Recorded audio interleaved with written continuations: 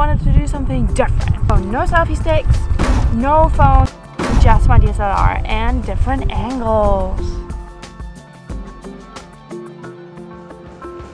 The Skyline Tower, 15 bucks. Cave of the Winds, 7 Hotel bucks. rooms with the Prospect view, Point and Maid of the Mist, 68. 80. Let's find free viewing spots.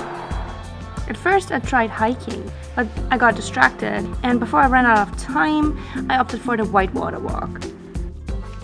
The walk leads you right next to the most dangerous whitewater rapids of the world. Go in the morning because that's when the sun hits everything just right.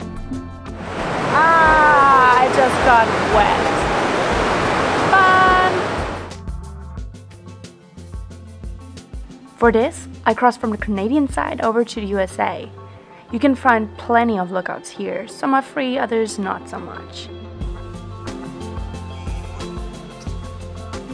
Then make your way to Goat Island and branch off every now and then so you can see both the American as well as the Horseshoe Falls.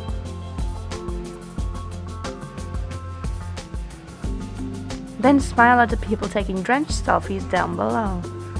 Don't be too shy to ask strangers for photos and let them press the shutter down for burst mode. At least one of their photos should be nice this way.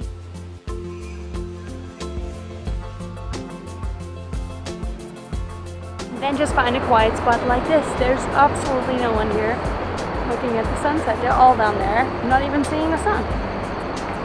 So sunset is the best time to come to the Horseshoe and American Falls because they're illuminated from the Canadian side and they just sparkle beautifully.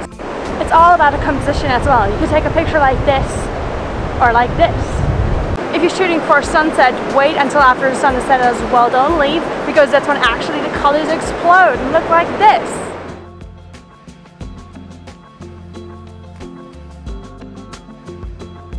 And that was it from Niagara Falls, so stay travel-tastic and see you around!